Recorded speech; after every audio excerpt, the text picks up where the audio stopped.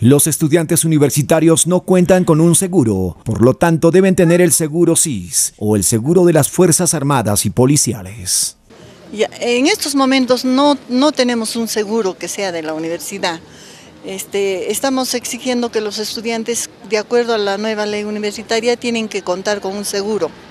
Eh, se exige que se, se inscriban en el SIS, Seguro Integral de Salud, este, a los que no tengan otro seguro. También pueden presentar la copia de los que tienen seguro de e-salud, de las Fuerzas Armadas o de otras eh, entidades privadas. Pero el alumno debe de contar con un seguro para que pueda garantizar su estado de salud durante el proceso de sus estudios académicos. Cuando un estudiante eh, de emergencia este, acude a servicios médicos, donde lo evalúan, le dan atención médica primaria, todo lo que en esos momentos requiere el estudiante. Pero si el estudiante requiere ser transferido al hospital, entonces se le transfiere al hospital. Y para los gastos de, de atención en el hospital, nosotros recurrimos al seguro del CIS. Entonces hay estudiantes que tienen CIS, entonces directamente el CIS asume todos los gastos. En caso de los estudiantes que no cuenten con CIS, entonces la universidad apoya con una subvención de 300 soles para sufragar los gastos que requiere el estudiante en ese momento. Bueno, no hay casos extremos tampoco, ¿no? Eh, en casos de enfermedad, bueno, se ha aparecido, digamos, eh, hemos tenido casos de accidentes de tránsito.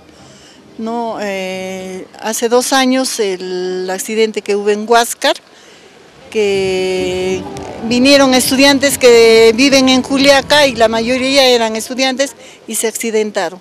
Ahí sí ha habido cerca de veintitantos estudiantes que sí se les ha apoyado con una subvención económica, las asistentes sociales. Hemos apoyado en, en la atención de estos casos de accidente de los estudiantes. Esos han sido los casos.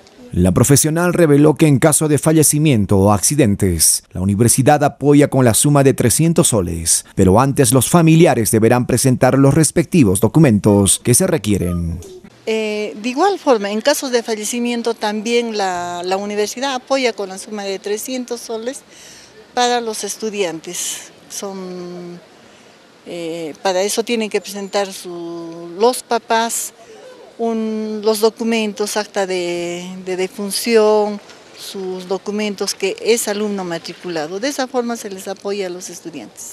Ya, también en esos casos apoya, en todos los casos apoya con, con esa cantidad de 300 soles como base y la asistente social se encarga si es que la enfermedad es es eh, más fuerte o, tiene complicaciones, puede aumentar de acuerdo a la situación socioeconómica del estudiante y de acuerdo a la enfermedad que padece, también puede pedir una ampliación de, de esta subvención que otorga la universidad. También invitó a los estudiantes a que accedan a los servicios del comedor, ya que está en marcha el programa.